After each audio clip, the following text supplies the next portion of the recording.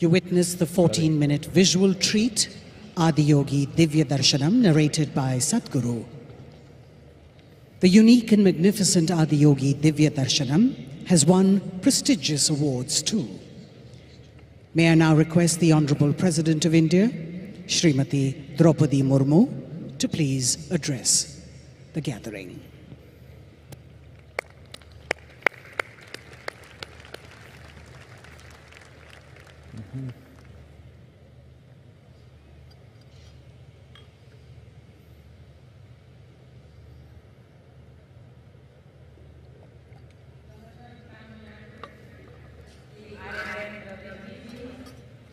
Founder Isha yoga centre Sadhguru Yagi Vasudev ji minister for IT from the state government Shri T M Thangaraj ji distinguished guests, ladies and gentlemen. Om Namo Shivaya. Om Namo Shivaya. Om Namo Shivaya. I bow to all that is Shiva, which means Shubha, all that is auspicious, gracious, benevolent in this universe. I feel specially blessed today. Earlier in the day, I had the good fortune of having darshan of Meenakshi Amma. I prayed before the Mother Goddess for the well-being of all. I feel blessed to be here on the holy occasion of Mahasivaratri in the presence of Adi Yogi. I am sure you too, like me, are feeling the special vibrations of this ambience. We are sensing a form of energy flowing through us that makes the whole cosmos alive. I was only last week. That was I in Varanasi. The first of all, the abodes of Shiva. And I had a darshan of various manifestations of the god. In the Kashi Vishwanath temple and in the Kalbhairavi temple, in the end of December, I had the good fortune of praying before Mallikarjun Swami at Sri Sailam. And now I am here in the foothills of Velliangiri Hills, which is the Dakshin Kailas, another abode of Swayambhu Lord Shiva. We refer to Lord Shiva as Father, as Shiv Baba, yet he also appears in the form of Ardhanarishwar, half male and half female. It points to the masculine and feminine sides of every human being and is an expression of the ideal of balancing the two, what we call gender balance today, comes, comes alive so beautifully in that image. Sometimes I wonder if Shiva is the sum total of all our religion, feelings, and spiritual thinking. Consider the various paths to the ultimate realization and liberation, which can also be called mukti, moksha, or nirvana. Various traditions around the world speak of the path of devotion of bhakti, the path of wisdom, of jnana, the path of yoga, and so on. And Lord Shiva is the only one who is perceived to be the guiding light on any of these paths. Whether a seeker is a devotee of a person God or a jnani, seeking the absolute or a yogi, striving for the spiritual union, taking refuge in Lord Shiva is sure to lead to the objective. In the same way, Lord Shiva is a deity for all, he appears in his various manifestations, matching each of us. He is a householder, a family man like most of us. But he is also a sannyasi who has renounced everything and dwells in cremation grounds of eight of mountains. He is the first yogi, the Adi yogi, and he is also the first jnani, who, for example, is said to have inspiration Panini's grammar system, one of the tallest intellectual achievements of humankind.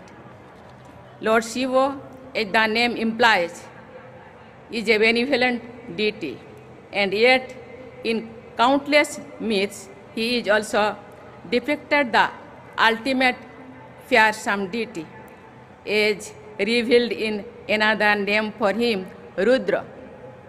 This might be why both Lord Rama and Ravana worshipped him. This why he is the symbol of both kinds of energies, creative and destructive. He indeed transcends such fears of opposites because his destructive drives is also creative. Leading to the regeneration and rejuvenation of the cosmos, it is this aspect of Shiva's personality that comes alive in the Tandav dance, which he also performed on the hill not far from here. What can we mortal do before a god like this but to be in awe and bow down in worship? That is what I meant when I began this address with the mantra Om Namah Shivaya. Adi Shankaracharya wanted us to know and realize the eternal Shiva within all of us. He says in his melodious Nirvana Shatakam, No me mutta sanka, no me jatir bhedo, pita neva, mene મેનેવ માતાનો જન્મ ન બંધુર ન મિત્રમ ગુરુનેવ શિષ્ય Chidanand Roopam શિવાહમ શિવાહમ It means I have no fear of death, no caste or creed. I have no father, no mother, for I was never born. I am not a relevant relatives, nor a friend, nor a teacher, or students. I am the form of consciousness and bliss. I am the eternal Shiva. To the non-believers, all of this may sound like a matter of belief and myth. However, it is astounding that modern science has also begun to unravel some of the, the secrets of Shiva. In the early 20th century, as physics broke new ground and scientists made images of the movement of subatomic particles. They found tracking lines very similar to the movement of a dancing Shiva, a Nataraj as depicted in traditional sculptures. What I am stating is, of course, a well-known theory. It shows that the ancient seers, in their deep meditation, perceived the true reality of the universe and expressed it their own language and symbols. Lord Shiva symbolizes nothing but that absolute. That is why many learned non-believers too remain astonished by Lord Shiva.